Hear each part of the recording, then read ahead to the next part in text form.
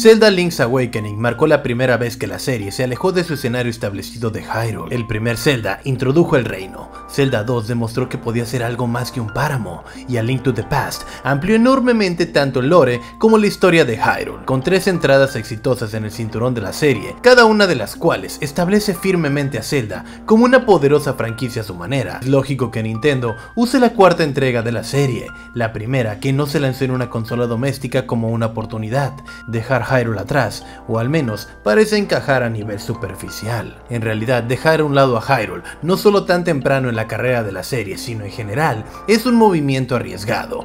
Después de tres juegos, Hyrule se había convertido en uno de los principios fundamentales de Zelda. A Link to the Past había solidificado a Link, Zelda, Ganon, la Trifuerza y el mismo reino de Hyrule como los cinco elementos definitorios de cualquier entrada dada a la serie. Por muy radical que fuera Zelda 2 en términos de jugabilidad, albergaba en gran medida la identidad de un juego de Zelda. Que una secuela se lanzara y abandonara todas, menos una de las características definitorias de la serie, fue francamente impactante. Esto es especialmente evidente si se tiene en cuenta el contexto que rodea el lanzamiento de Link's Awakening. Esta fue la primera entrada de la serie en abandonar las consolas domésticas de Nintendo.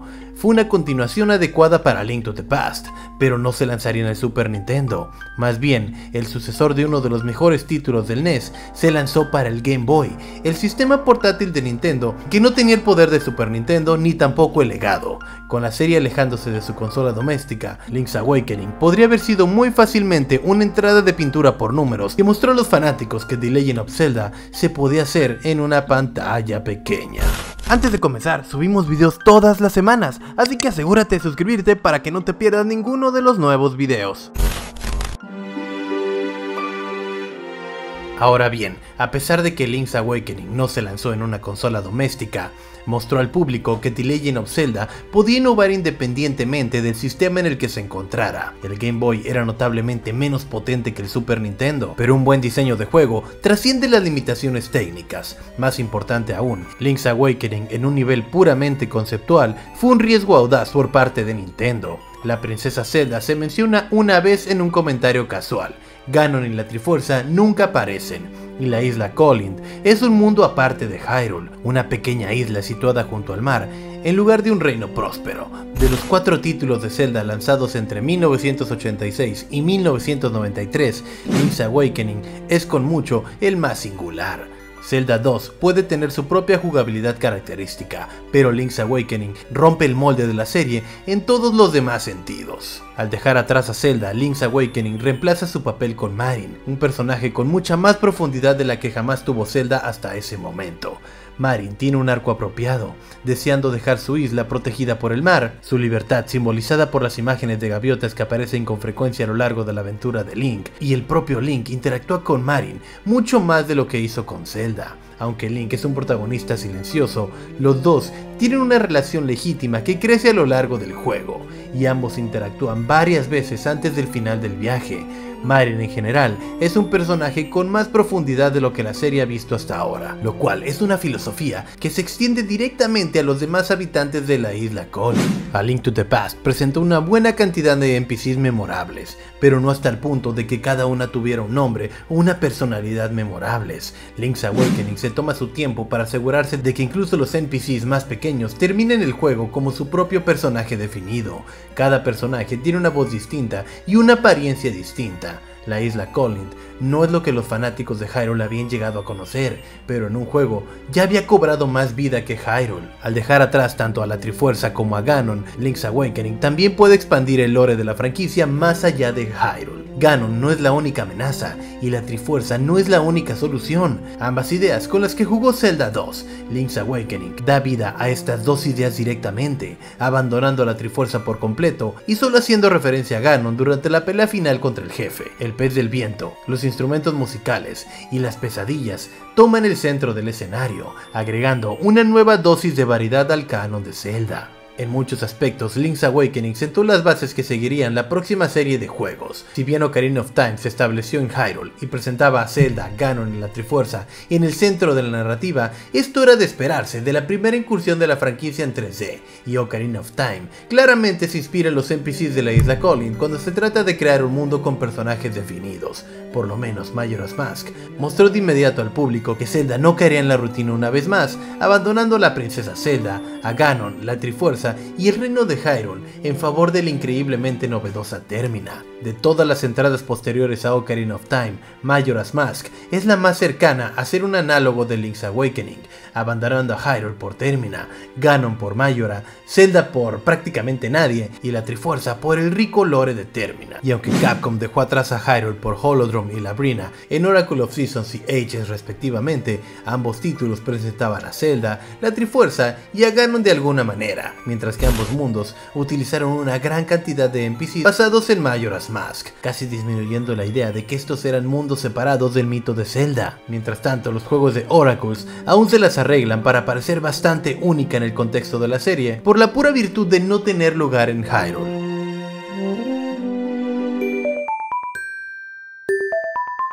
Es realmente increíble lo que un juego de Zelda puede lograr simplemente relegando a Hyrule al margen. Holodrum y Labrina no son tan exitosos como la isla Calling o la misma Termina en lo que respecta al uso de sus mundos, pero Oracle of Seasons y Ages siguen de cerca el conjunto básico de Link's Awakening y, en última instancia, son mejores para él. Aunque aparece Zelda, Dean y Nairo, sirven como figuras al estilo de Marin con las que Link tiene cierta apariencia de conexión, aunque Ganon actúa como el verdadero jefe final, Onox y Baran son los verdaderos antagonistas, y aunque la mayoría de los NPCs se extraen de los títulos de Nintendo 64, todavía tienen personalidades y un lugar en el mundo. Esta es una estructura que casi todos los juegos de Zelda han seguido, pero pocas han tenido tanto éxito como Link's Awakening. The Wind Waker bien podría ser la última entrada de la serie en seguir con éxito la fórmula ya mencionada, jugando deliberadamente con los conceptos establecidos de la serie como parte de su tema central. Como resultado, si bien Zelda, Ganon, la Trifuerza y Hyrule están presentes, solo están presentes como medio de comentario sobre posible estancamiento. A partir de ahí, los intentos de Nintendo de desviarse del lore comenzaron a desviarse lentamente, donde The Minish Cap se basa en la mitología única de Force Words, trae la serie de vuelta Hyrule y no de una manera particularmente interesante fuera de Picori. Four Swords Adventures lleva el lore aún más lejos, pero se centra tanto en la estética general de Link to the Past que no puede forjarse una identidad propia. Twilight Princess es quizás el mejor ejemplo de The Legend of Zelda apegándose a su lore, casi sirviendo como la antítesis de The Wind Waker y por extensión de Link's Awakening, ya que abarca prácticamente todas las piezas reconocibles de la iconografía de Zelda. Si bien Phantom Hourglass y Spirit Tracks intentan seguir los pasos de Link's Awakening de manera más abierta, lo hacen de manera bastante descuidada. Este último carece de varios elementos básicos clásicos de Zelda, pero se sabotea a sí mismo al bautizar a su nueva nación como Hyrule, negándose a comprometerse con su propio concepto y solidificando firmemente la serie como una serie inexplicablemente temerosa de alejarse de su lore. Esta es una noción que se puede ver claramente tanto en Skyward Sword como en A Link Between Worlds. El primero sirve como un punto de origen para prácticamente todos los principios básicos, y el segundo utiliza la base de A Link to the Past para experimentar con el juego. Esto no quiere decir que los juegos sean malos, o que The Minish Cap y la Princess sean menores por no haber experimentado tanto como sus predecesores, pero un enfoque tan seguro para el diseño del juego y del mundo parece contrario cuanto a la intuición considerando todo lo que Link's Awakening logró influir en la serie.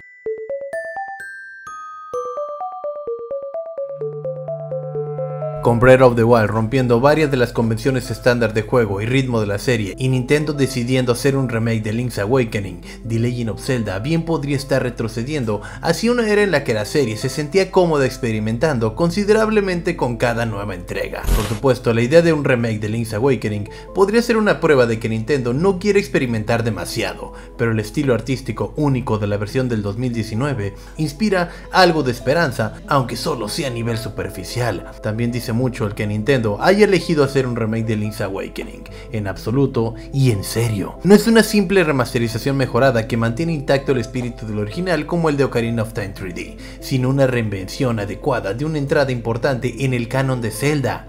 Si dicha reinvención es realmente necesaria o no, eso es otro tema completamente diferente, pero al menos Nintendo está reconociendo un título independiente de los lores de la serie con bastante fanfarria. En una era en la que The Legend of Zelda necesita seguir superando sus propios lores, Link's Awakening nunca ha sido más relevante, teniendo en cuenta cuántas entradas de la serie se pueden vincular con Link's Awakening a nivel estructural, se puede argumentar que la aventura de Link en la Isla de los Sueños estableció algunos lores propios, lores que finalmente sirven para mejorar la serie en todos los niveles. The Legend of Zelda no solo es la princesa Zelda, ni luchar inevitablemente contra Ganon, ni atravesar Hyrule, ni ser el elegido por la Trifuerza. The Legend of Zelda es el despertar de Link, una aventura en un mundo vivo con corazón, encanto y el deseo de ser audaz sin importar el riesgo.